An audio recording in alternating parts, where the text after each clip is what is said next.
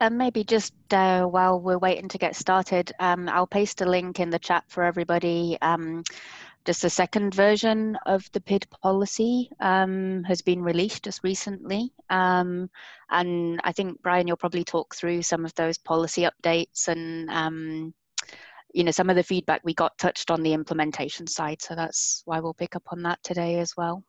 Um, Okay, yes, I actually don't do much of that, but, uh, okay. uh, but uh, yeah, it's I, it's a very brief summary.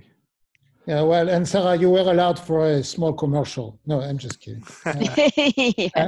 Uh, uh, uh so yeah, well, I, I, think by by that time, now that we've gone through various sessions on top of the plenary, it, it, it's clear that we have a, now a corpus of documents that are either on their way or in draft version or and so on. And it's normal at this moment since uh, our goal is to be ready by the end of the year. So uh, we, we have this, uh, this consultation day today in the course uh, uh, of the work. And uh, so that's why we have documents at various stages and it is by design, so to speak, right? For some of them, we're really looking, uh, that's why the, the title of the event is consultation. Uh, we're, we're really looking forward to feedback. So the, for the PID policy, it's been available a few days ago. Uh, this morning for the, the EOSC interoperability framework, it was yesterday. Uh, on, on AI, similarly, I mean, documents are coming up uh, in the coming uh, weeks and on and on and on. So um, that's that's the status we're in. I think the, the event today is illustrating the current state of affairs and also looking forward for feedback. Uh, that's why we call the event consultation, right? I mean, uh, feedback either during the call today or, uh, you know, uh, commenting on those documents that are available uh, on the web. Okay, with that as an intro, and thanks Sarah for the, you know, the the the opportunity to to, to share uh, the the the PID policy version two. Uh, so this session is on, uh, as the title says, on persistent identifiers.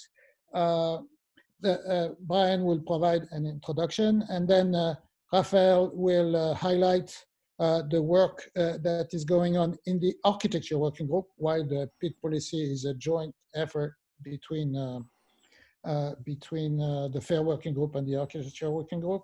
that's the mechanics anyway. so we will get into, um, with Raphael, into the technical architecture for persistent identifier in the second part of this of this presentation. So with that, uh, I will hand over to Brian, who will introduce uh, the whole session. Brian? Yes, hello everybody. Uh, good afternoon, thanks for coming back. Um, so I'm going to give uh, a very brief uh, overview uh, of the current work on persistent identifier policy. Um, uh, a lot of this was said in the session this morning, so I don't want to repeat that. Um, uh, but for some of you who weren't at that session, we felt it would be worth just spending a few minutes and saying what we're doing here and what the status is, and then we'll hand over to Raphael to looking at the uh, more more implementation issues. So uh, this is the to, right. So, uh, so what I'm going to look at is very briefly um, look at the purpose of the policy, what is it for, who's been created for, what have we been doing, uh, a little bit about some of the principles, uh, not so much about the scope, but some of the principles of, of the policy and what, and what, we're trying to achieve, what we're trying to cover, and then where we are, what the next steps are, and how people might uh, get involved with consultation. So Who's involved? Well, this has been a joint uh, activity between two working groups. Uh, firstly, the, the FAIR working group led by Sarah Jones, uh, which has been uh, mostly been done by Peter Wittenberg, Rachael Kotarski, Anders Conrad, and Andre uh, uh, but also the, um, the architecture working group led by Jean-Francois uh, has been heavily involved. And here we it's been quite a large group of people but uh, involved in this, but mostly uh, myself, Paolo Manghi, Raphael Ritz, Tobias Weigel, uh, Vigel, and uh, um, more recently uh, Maggie Hellstrom and Mario Valle got very heavily involved. So, so um, uh, a, a, joint piece of work between two groups. I think that's worked. That's that seems to have worked quite well. I think we've been quite collaborative. Um, so uh, just to go over some of the purposes of what we're trying to do this for. Uh, so this is about uh, for decision makers uh, within uh, providers of, of uh, EOSC services and providers of EOSC infrastructure to guide how they should deliver those, those services. And it defines a set of expectations um, of how persistent identifiers um, should be used uh, to support uh, an environment um, for fair research in European Open Science Cloud. Uh, and as such, it sets some basic requirements of what providers should provide, what persistent identifiers, properties of identifiers should should um, uh, we should expect them to have, and the basic services offer, so we can have a trusted environment, a trusted infrastructure uh, available to support persistent identifiers, or or should I say a set a, infrastructures for persistent identifiers. We don't necessarily think there's going to be one definitive one in the end. There may be a set of set of ones for different purposes. Um, then following on from that policy, the uh, implementation of that will be guided through recommendations on uh, which is in in tandem with the technical architecture work which is going on in the uh, architecture working group. And that's what Raphael is going to talk, talk about later. And then this PID policy, will, uh, as we heard this morning on the discussion around uh, governance, um, this is going to be taken into future um, EOSCA governance processes through the rules of participation, which refers to the EOSC PID policy and, and the future governance processes uh, to be defined. So our approach, well, I won't go into a lot of details of the approach, but I will mention some of the principles we were using, we, we, uh, we applied. Uh, what we wanted to do is design a, uh, well, to be able to enable a sustainable trusted PID infrastructures, which is suitable for long-term sustainability within the European Open Science Cloud, which accommodates a range of use cases and not try to put up barriers to uh, people uh, using PIDs in different ways. Uh, we recognize that there is a, a range of PID practices and, uh, and suppliers already in existence, and that those uh, PID infrastructures um, uh, must have and do have a, a, global scope. So they have to um, have. This is not just a European thing. This is this is a throughout the, the whole world. They have to be persistent identifiers. And as I mentioned before, that, that this should be largely aimed at well, should be aimed at to support the FAIR principles and um, uh, and um, uh, an, a, an essential component of the infrastructure that we that we need to provide to support fair research. So we don't. So all that taken into account, we, we, we're trying to be balanced without a preferred approach or technology or provider, uh, but rather a set of, of requirements um, and uh, well definitions and requirements that we would uh, expect people to adhere to when they're providing and using PIDs. And uh, to have a number of services that we can that we can adopt in the uh, EOSC at a suitable level of maturity, but also encourage innovation and new services, new usages of PIDs, new new new ways that PIDs are are provided. So that is pretty well all I wanted to say. Just a little bit on our progress and next steps. Uh, we uh, released a first draft of community comment back in December. Um, that has been quite extensively commented on, and then we've uh, gone through a, a, revision period over the last two months or so, uh, just released over the last week um, a new version publicly available for comment for a second draft um, and which is now available. Um, we'd love people to comment on this. Um, there are, uh, it's released onto the PID forum, which is where the link um, which Sarah's put up is on, so you can comment on the PID forum.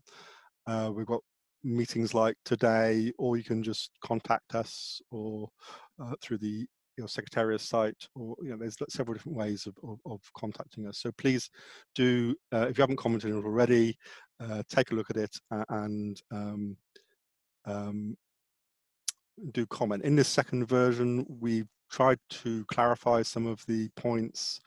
Uh, we've tried to um, uh, add some extra stuff around what we've done. We've tried to add some extra stuff around um, some of the governance issues, some of the um, uh, and some of the issues around things like PID, the, the roles of PID kernel, PID kernels.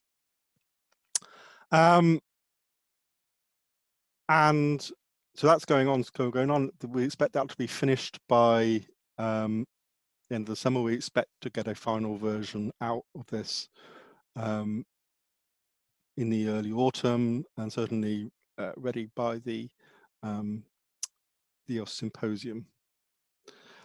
And as I mentioned, there's a second strand of work uh, started up in the architecture working group looking at recommendations around architecture and implementation. Uh, and that's been started by um, a team led by Ulrich Schwardmann, Martin Fenner, Raphael's involved, I'm involved, and various others involved in that as well. Um, so I'll leave you with the with the, the link to the uh, the new version, and um, then if there are no questions, I'll well, any questions now, or, or should we just hand over to Raphael? If there are any clari clarification question, uh, maybe now, really specific to the policy. Otherwise, we will move to Raphael. Please raise your hand if you, or send message in the in the chat. Meanwhile, Raphael has taken control, and that was the interval window that was available for clarification question. And now we can move to Raphael's presentation. And of course, there will be a Q&A session at the end anyway. So Raphael, your turn. Thanks, Jean-Francois. Do people hear me and can see the screen? Yes. Okay, great. Thank you. And thanks, Brian, for setting the scene. So as Brian already outlined, uh, another line of activities in the context of this uh, um, EOSC architecture working group in the context of PIDs is specifically uh, working out a proposal for an architecture, uh, um, of course not completely out of the blue, but based on what we have, as we will see in a moment. But before I dive into that, um, uh, let me show you who are the people involved. And this, I think Brian mostly also already mentioned. Uh, Ulrich Schwardmann from uh, GWDG, uh, not actually being a member of the EOSC architecture working group, but an invited expert, uh, as he has a lot of experience, decades of experience, in fact, uh, with PID systems. And other people you see here, some are actually currently in the room and um, somehow I have a problem moving my slides. But anyway, uh, what I'm trying to get at today is to introduce you to the approach that we have taken, which can mostly be uh, uh, taken for the time being from a collaborative document where we pool all the things uh, uh, together that we work on. And I will provide a link to that uh, document in a very moment but I will also briefly mention what we do not consider here um, after the introduction that shouldn't come as a surprise to you. Then for the uh, uh, major part of this presentation, I'll give you a status report on where we are. And in closing, I would like to mention something slightly different. As many of you know, the working groups also contribute to the forthcoming strategic research and innovation agenda, for the EOSC in the Horizon Europe uh, program in the forthcoming one. And uh, in that context, the group is also contributing a section on PIDs, and this is what I will mention in the end.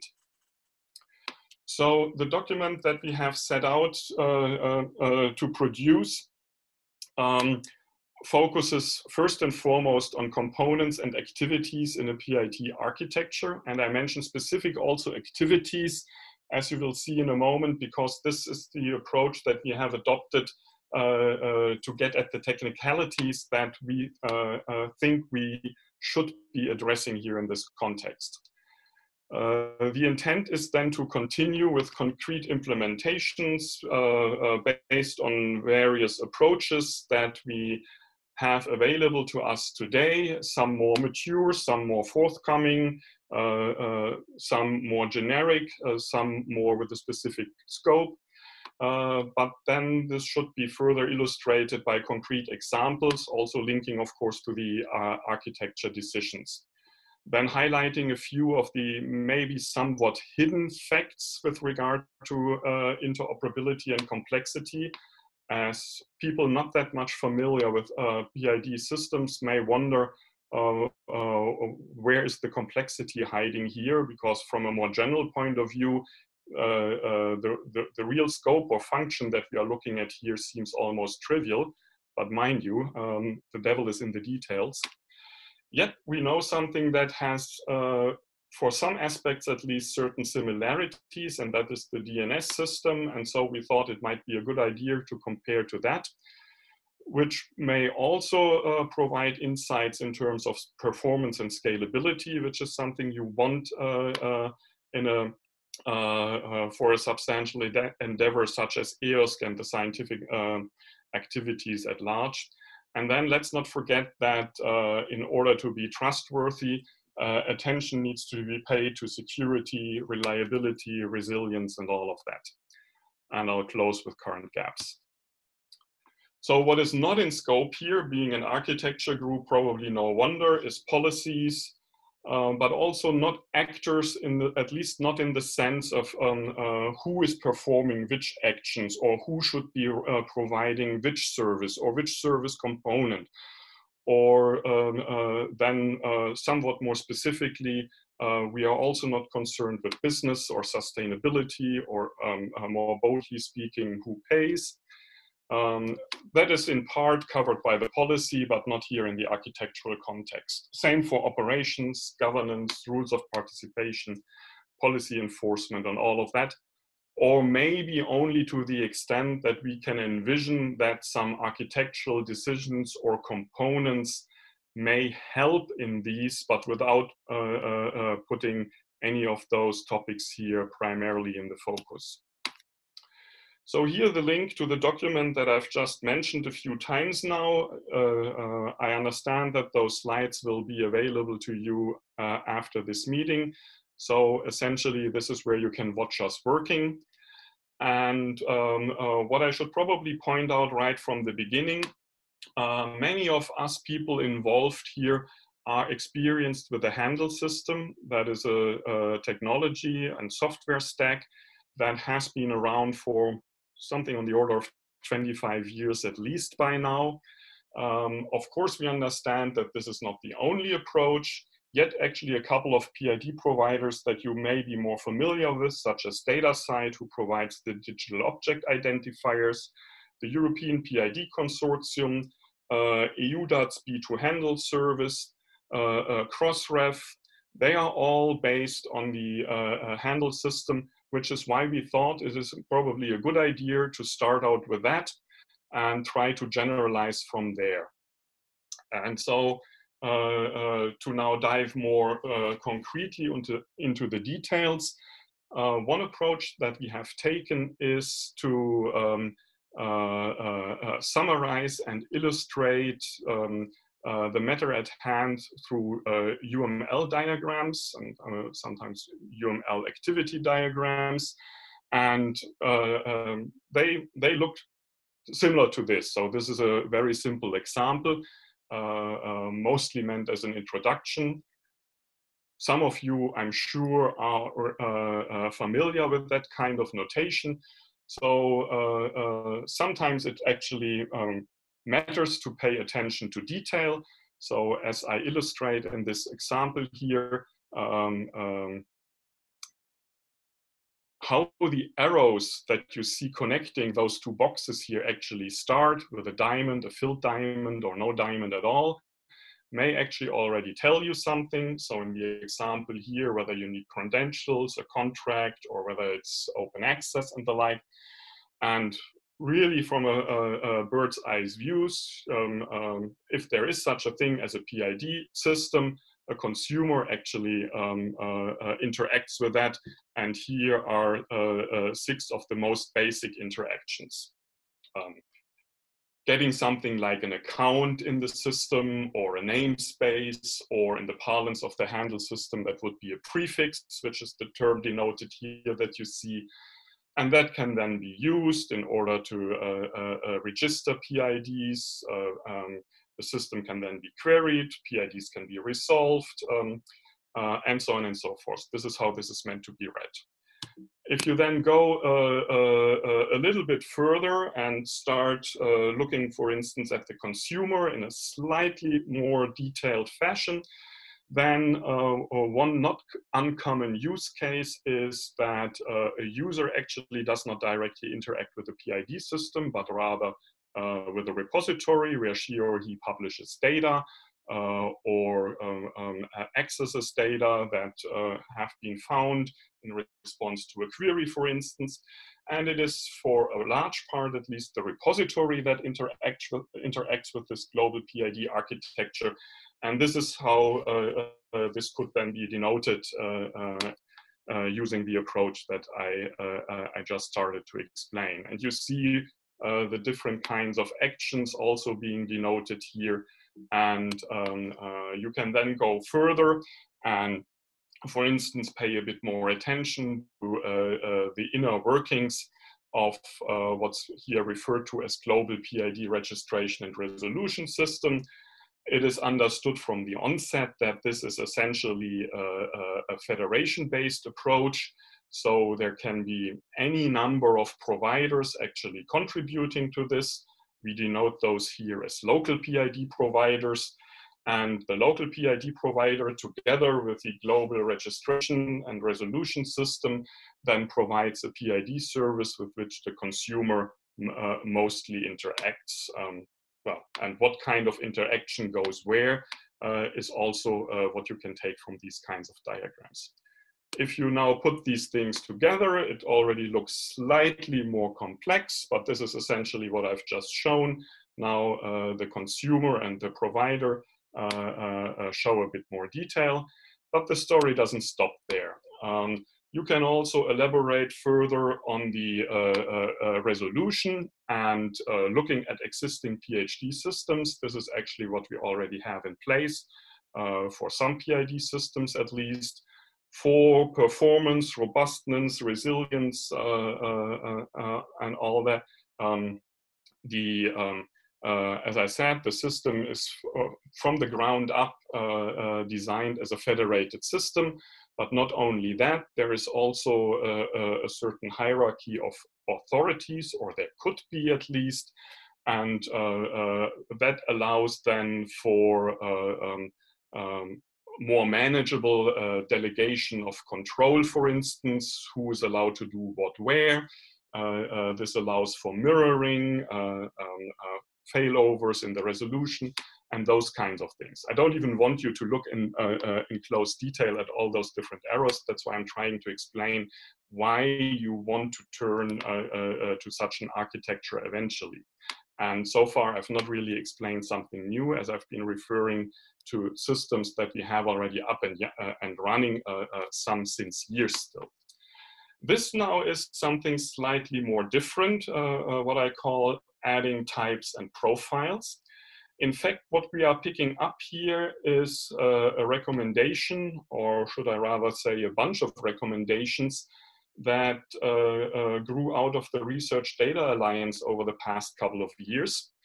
Um, uh, some of you may even be aware of the fact that within the context of the Research Data Alliance, um, from the onset, essentially, uh, there was a certain group of people interested in um, uh, uh, uh PID systems and how to develop and take them further.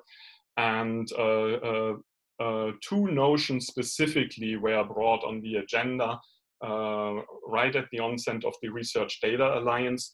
One being the topic of data typing, and uh, uh, concepts such as the data type registry and more powerful machine readable data types uh, grew out of there. And uh, uh, that has been recommended by the RDA for future adoption.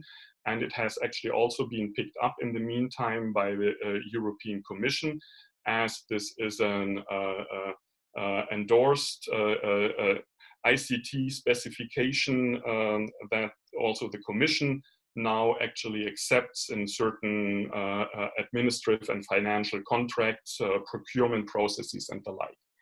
And the other term mentioned here are then profiles.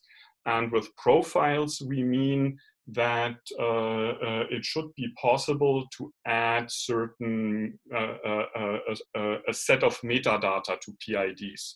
So um, um, not just what people usually assume to be uh, uh, scope of a PID system, you have something globally unique that resolves to some place else. And if that place changes, you, um, uh, uh, you adapt the registration and so you don't lose the reference.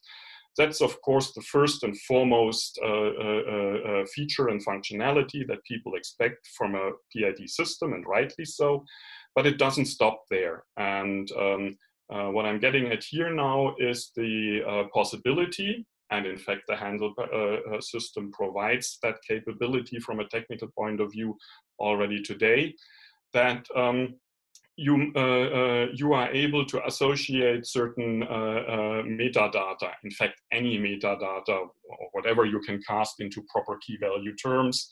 And if the value is a reference to someplace else, then that can be arbitrarily complex in principle. But uh, the idea being that uh, um, uh, in addition for a PID system to be able to resolve to an object in question, it should also be possible uh, to obtain a certain set of information about that object without, in fact, actually accessing the object itself. You may still decide later that you want it anyway, but on the other hand, this additional information could also help you decide, oh no, this is not what I'm interested in. And the kind of information that you may add to, uh, to a profile uh, uh, could be, well, simple technical properties such as size or a checksum that you may want to use in order to check for consistency, whether you've really gotten what you expected to get.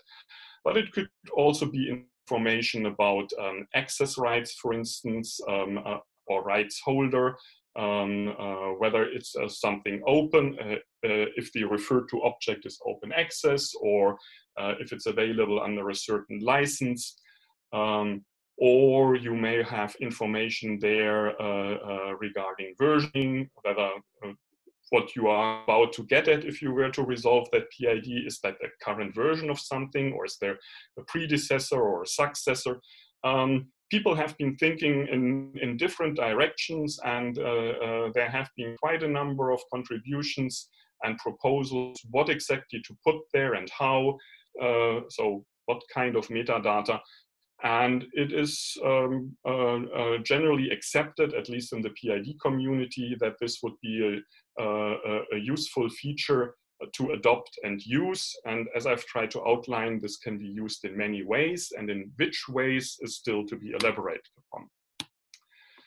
So if we then put all these things together, um, uh, uh, I then, again, you, uh, uh I, I called it an almost complete view, because I'm, I'm sure we are not there at the end yet. Um, uh, uh, there are further questions that we are considering to what extent we might want to incorporate those here.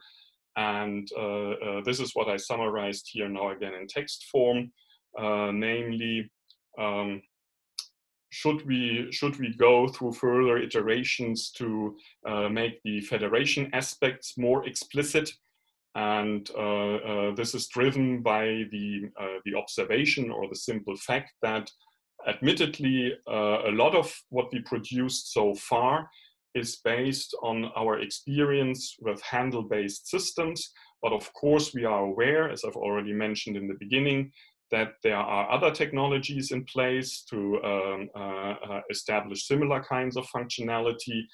And if we, uh, uh if we ask ourselves how it should become possible uh, uh, to federate across technology stacks, then we need to pay more attention to interfaces and protocols and to what extent we then uh, uh, agree to cover that within this uh, specific architecture document here. Uh, we haven't really answered yet. That's one of the current discussions going on.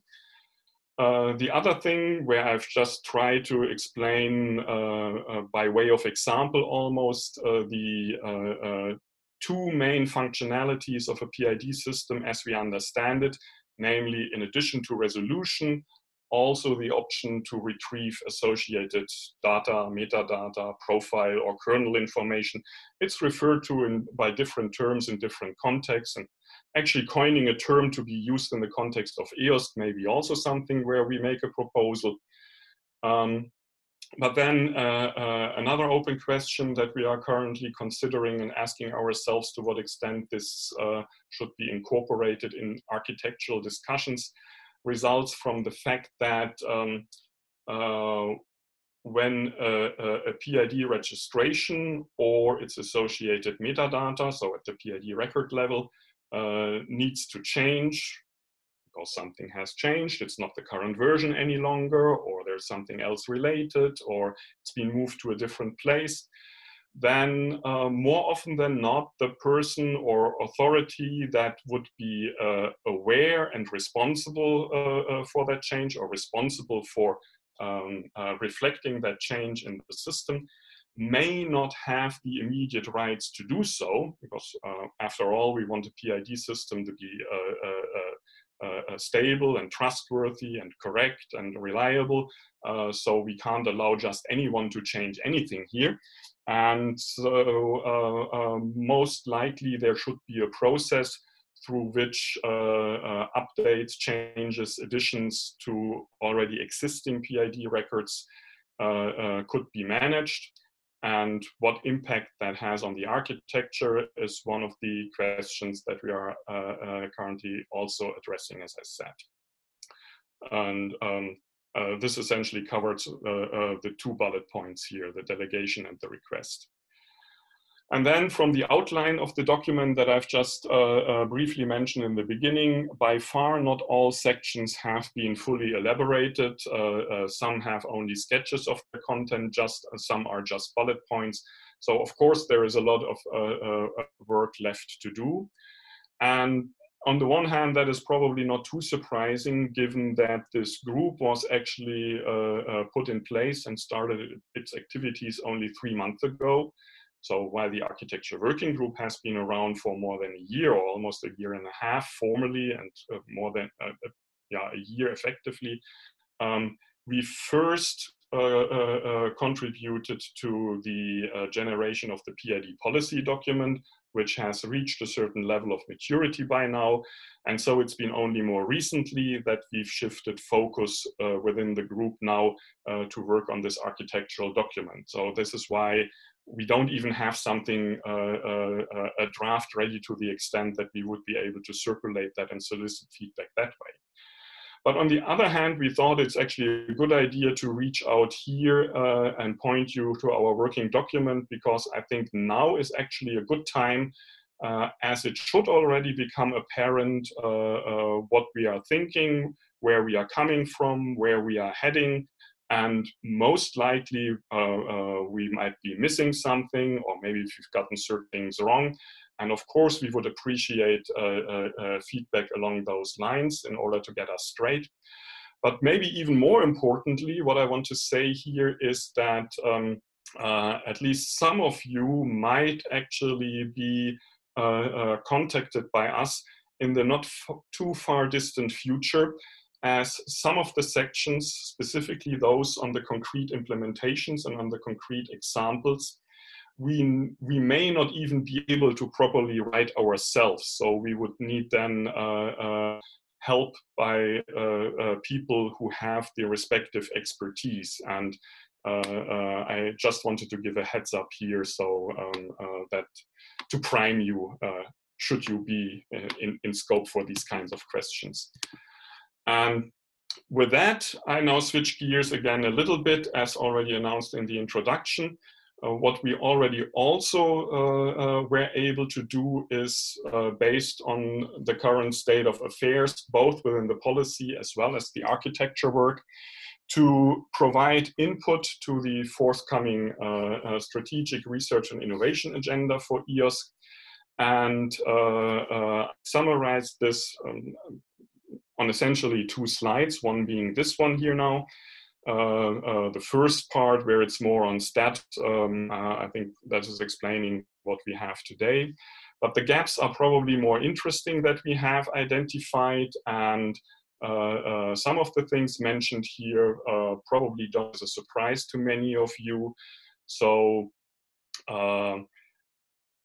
in essence, people agree that uh, in order to know what we are talking about, we need identifiers, quote unquote, for everything. So not just publications or data sets or data collections, but all for, um, uh, uh, uh well, the other types of resources or entities uh, of the scientific process, being that uh, people or organizations, uh, uh, funding agencies, projects on the one hand, or um, software, workflows, um, other artifacts of the scientific process on the other hand, services, for instance. So for all of those, um, uh, it would be advantageous to have PIDs but then you may be also able to see already from, uh, uh, from this um, uh, enumeration that the moment we start to look at accompanying metadata, so additional information to go with the PID itself, that may actually uh, um, uh, uh, require different kinds of additional information as different entities of different nature are simply described in different ways. How to properly do that is actually a challenging task and for most application domains not really established yet.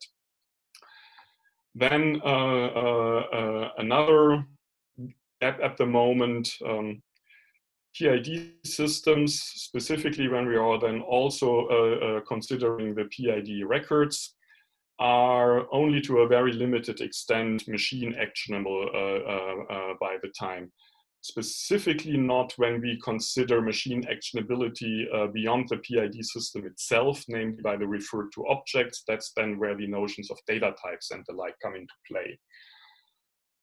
Another issue where we are currently at, uh, uh, well, um, uh, have nothing available to us is um, if we, um, uh, if if we just consider the fact that uh, uh, PID systems may be based on uh, uh, different technologies organized by different organizations and authorities, uh, so far there is no um, overarching meta resolve, we call it here. So a service where you can uh, turn to with any PID whatsoever and um, you will get what you expect. I mean, uh, a resolution or uh, uh, to the object itself or to the additional data. Um, again, back to the handle system. Technically, for the handle system, that would be straightforward, uh, as this ha the handle system supports the design. Even there, mostly based on policy decisions, not all PID service providers that use the handle system actually support resolving PIDs issued by another organization. It's just a matter of fact today. And something like that, uh, uh, uh, even more generalized, we consider a gap.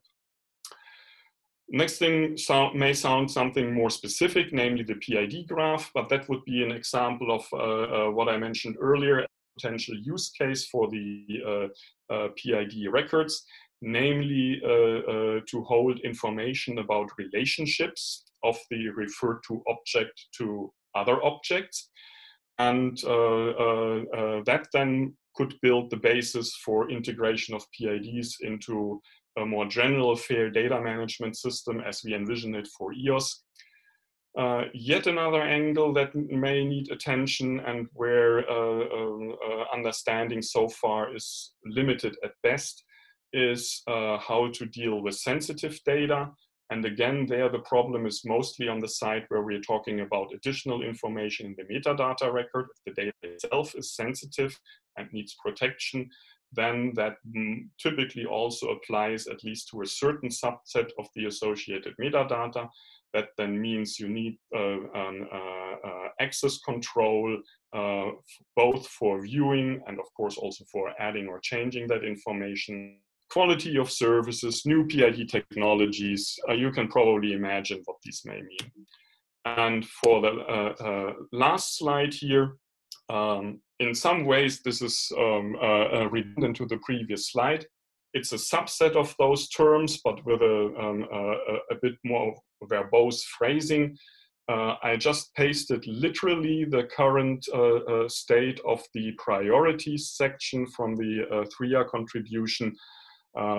This is on this end the, our current state of discussion. So highest priority would be PIDs for instruments, services, organizations, and software. Second priority, a meta resolver. Third priority, uh, schemata, so uh, uh, essentially a specification or a model for the PID records or kernel information, as some say. Type definitions, protocols for exchanging information between PID systems, and tools to support the, uh, uh, the certification of PID infrastructure. With that, uh, uh, I would like to uh, open the floor for discussion. As I, um, um, I think I've, I hope I've now provided a fair account of the status of where we are with our discussions and considerations. And you see, this is something well, um, right from the engine room, uh, uh, we are by no means uh, finished yet. But as I said, this is probably also why now I think it is a good and rewarding time uh, to open this up and uh, uh, solicit feedback. And I'm happy to receive your contributions. Thanks. So for any question, please uh, raise your hand and uh, you will be unmuted and so will you, you will speak. Thank you.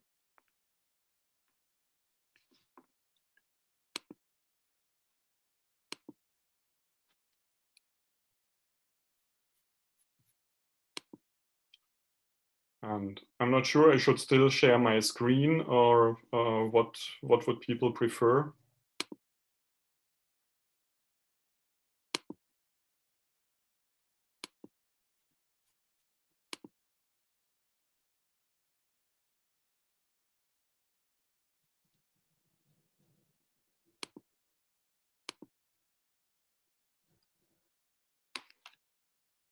Somehow I just try to get in a, a, a, glimpse on the chat or see who is raising hand, but I, I failed to see uh, the presentation view of my slide and the controls from the Zoom meeting. So uh, I, I would appreciate if somebody uh, could moderate this and. Uh, yeah, yeah, that's fine. I'd, um, so this is Sarah. So I, I can read a few questions out of the chat.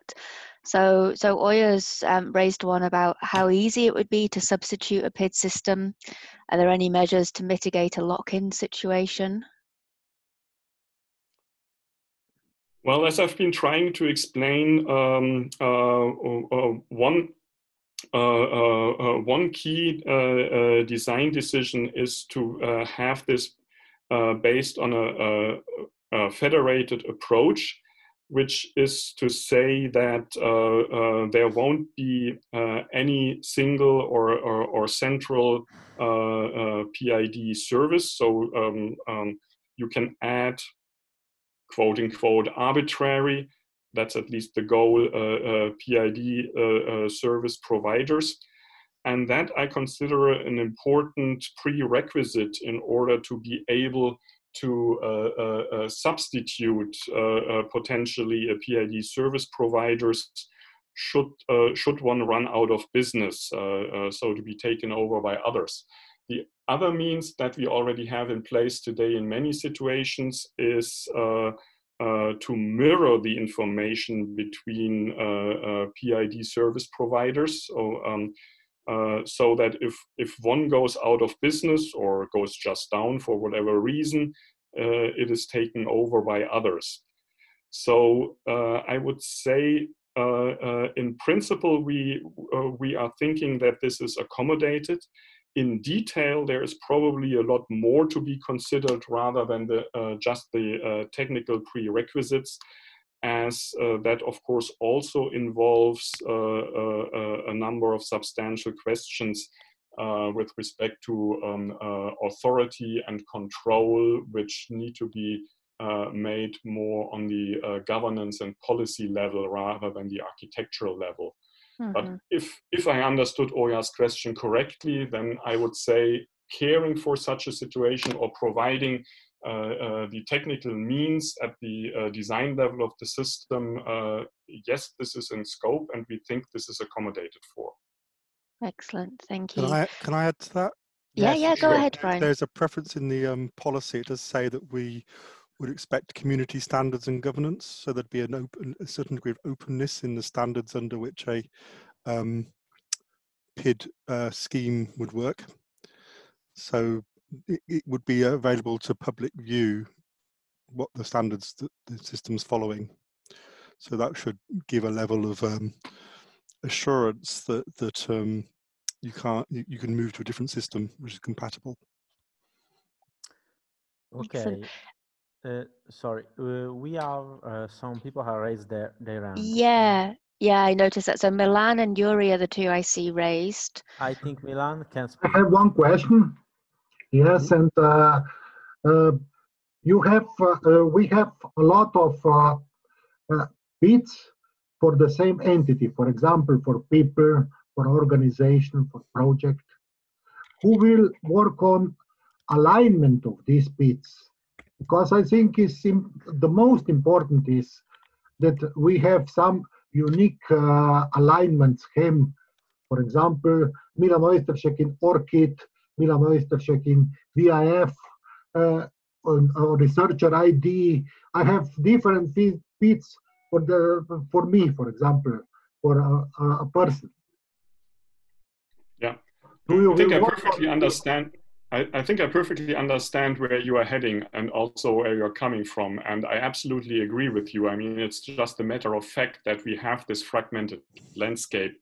I also, actually, I even don't know how many different identifiers I would have for myself and being in the context of a researcher, a person, uh, an infrastructure provider, and you name it.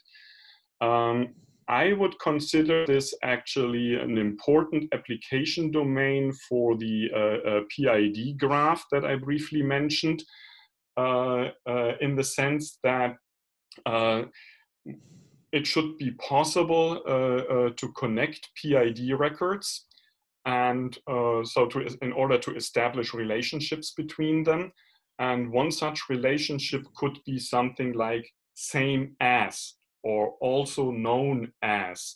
And uh, uh, then a, a, meta resolver uh, I, I would envision to be able Uh, uh, to return more than just uh, one hit. I'm saying the identifier that you provided me with points here, uh, but this is also known as, or it's also the same as a, B, C, D, E, whatever it then finds. So based on that information, assuming those relationships were established.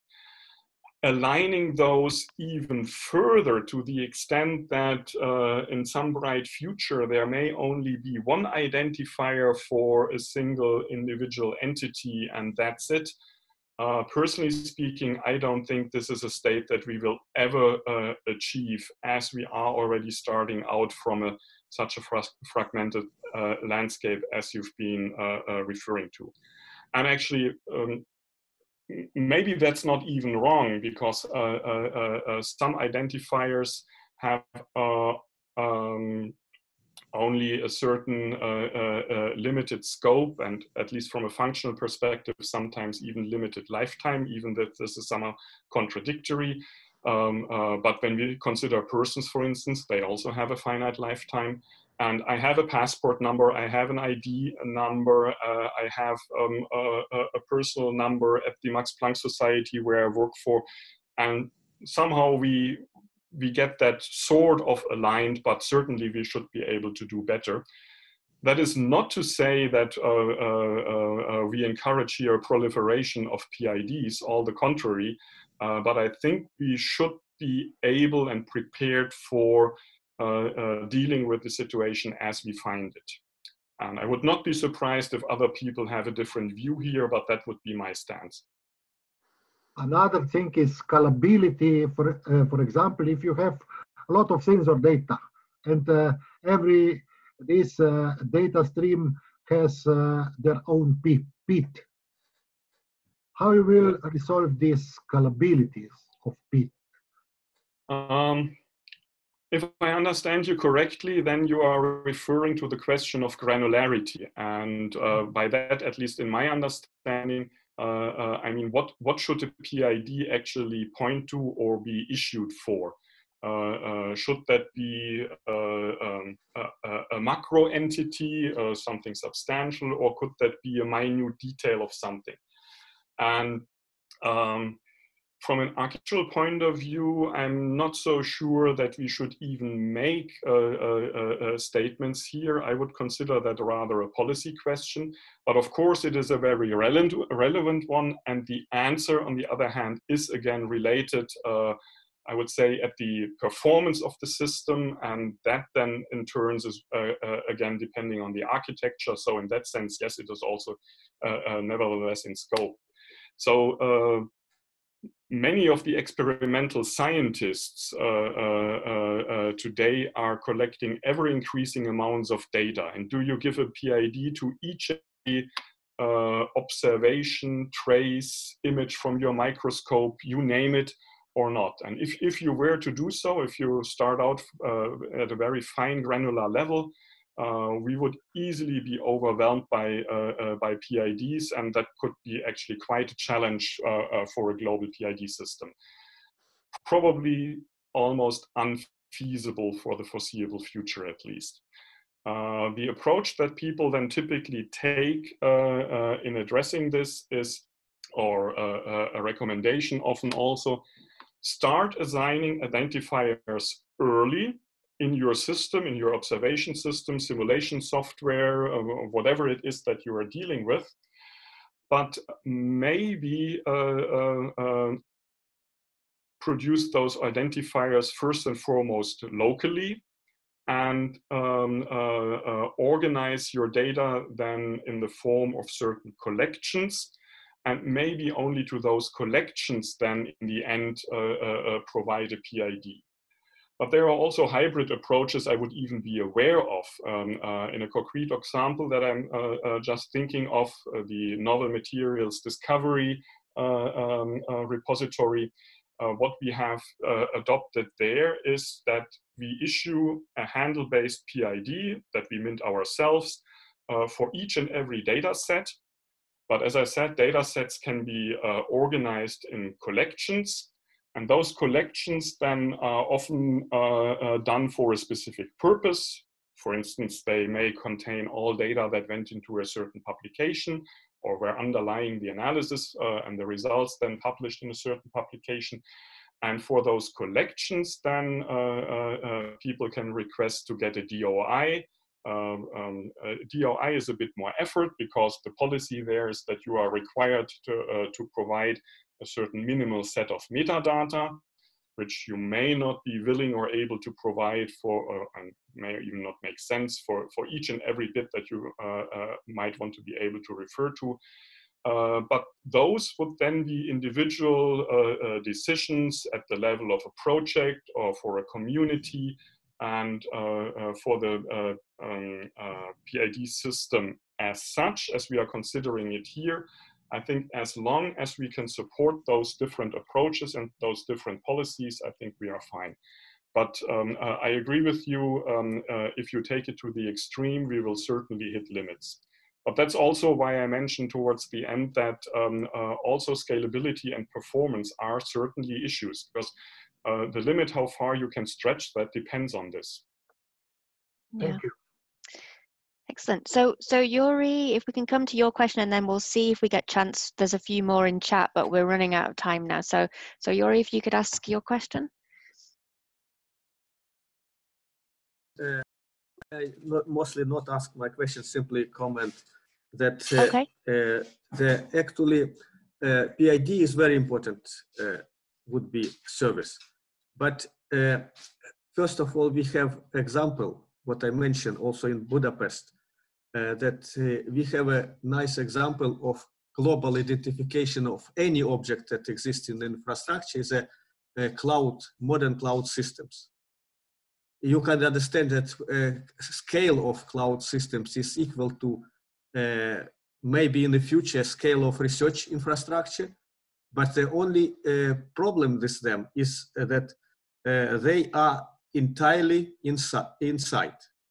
So cloud providers doesn't solve the problem across border, across cloud referencing.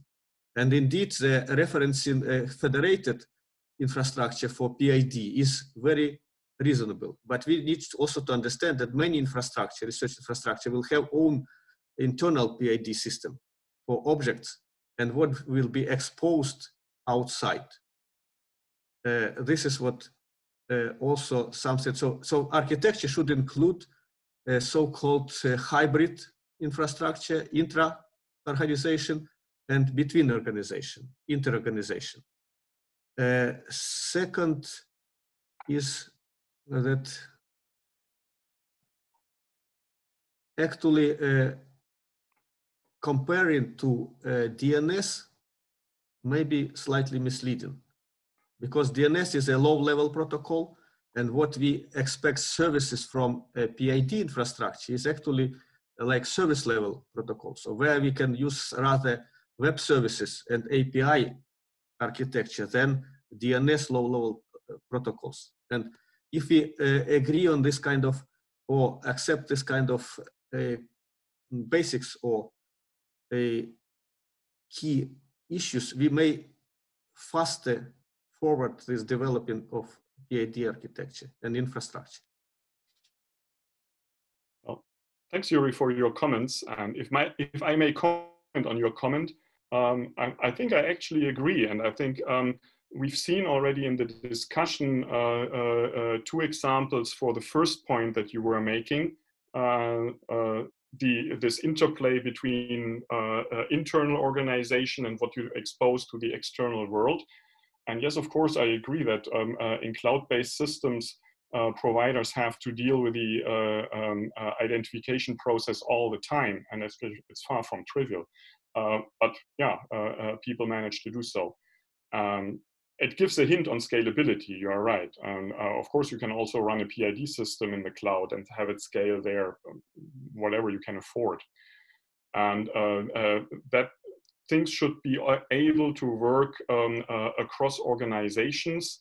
Uh, um, uh, yes, I absolutely agree. I think I was even making that as an example or motivation for uh, uh, what I recall the um, extension of this federated approach and conse potential consequences being that you, you should have a well-established way how those different PID systems that uh, operate under different governance can actually inform each other or technically speaking become interoperable nevertheless. And and, it, uh, uh, and your uh, your final remark uh, with respect to the DNS system I meant this to be an example for uh, the kind of functionality that we nowadays take for granted. You open up a browser you type in a URL not an IP number uh, uh, but uh, something like eosk minus or something, and it goes somewhere. And you, as a user, you don't need to care how this is actually resolved, how the respective node in the network is found, how the application on that delivers the web presence, and all these kinds of things, the user shouldn't care. Absolutely agree. And, and this is the level uh, uh, that um, uh, we think we should be able to achieve for PIDs as well. You have a PID from somewhere, you want to get at this, you don't need to know and you don't need to care who has issued this PID. There is a maybe web service or some kind of service where you can uh, uh, uh, that PID that you have as input and you get what you expect. This is uh, uh, this is the kind of functionality I was trying to allude to and why I used the, the DNS as, as example for comparison. I did not mean to imply that a PID system should work under the hood and at, at, the same level and in the same way as the DID, uh, uh, DNS system. Sorry if that got misunderstood. Excellent, thanks very much. Um, so I see some of the questions have been addressed in the chat as well. Brian and others have, have commented. Um, does anyone have final questions or reflections, um, Jean-Francois or Raphael or Brian, if things you'd like to comment on before we close? Uh, uh, so there is one more question left on sensitive data in the chat. Uh, uh, I, I think that might be coming out of another se session. Raymond, are you in this session? I have a feeling the chat is actually merged because I think this might come out of the MVE one, but or possibly it's for here. Sarah, I'm in this session, yes. Oh, you are in this session. Okay, sorry yeah, for ignoring yeah. that. yeah, I need to, to understand what, what, what are these categories of sensitive data? So Raphael, Sorry, uh, Raphael? yeah, go ahead. Sensitive data, what is this sensitive data about? Um, what we mean by sensitive data in this context here could be anything that requires um, uh, uh, protection and for that reason access control, whether it's personalized data, clinical data, uh, social science data, um, uh, a lot of research is actually performed on data that for one reason or another can't be made open. Um, yet you want to be able uh, uh, to assign PIDs to such data.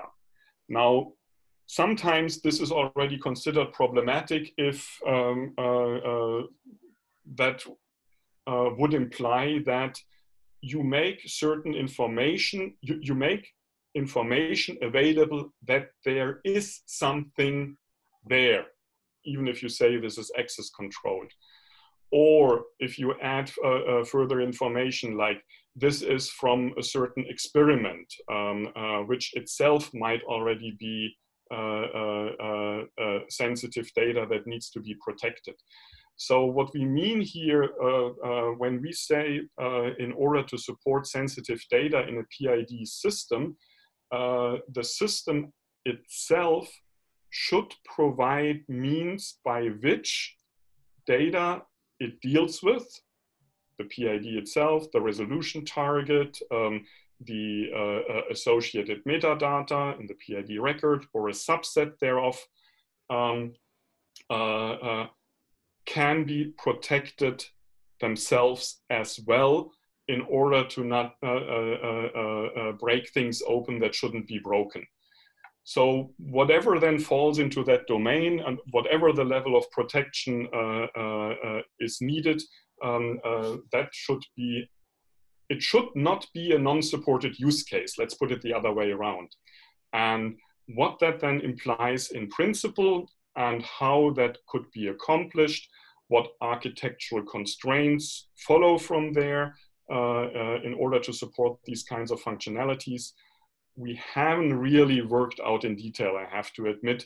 There are certain ideas, at least at the level of protecting uh, individual properties or attributes within the PID record, but hmm. that's essentially as far as we've gotten up to now. But um, uh, I don't know whether that now answered your question. Partially, yes, but, but because originally what I was wondering was that the sensitive data is this could this be data that we think that has difficulties in in its access because for example you will find uh, some institutions they want their data to only be accessed when you have paid for it yet we have been discussing open access free access all that kind of things but um, when you brought in this sensitive category i was wondering what exactly is this um, uh, data type and um, here in Africa, most of the data to be accessed, unfortunately, most of the government agencies might want the data to be paid for. So that's why I wanted to put it to that level mm -hmm. for it to be sensitive. Thank you. Uh, I think we're out of time. So Sarah, uh, back to you for conclusion if you want to. Or... Uh, yeah, well, just a thanks um, to all of you for participating, and particularly to Raphael and, and Brian for for presenting. And also, uh, in the spirit of openness, I think it's fantastic for people to be able to see the working documents as as things are happening there. So, um, do um, tune in, see what's happening, and uh, thanks for your feedback here.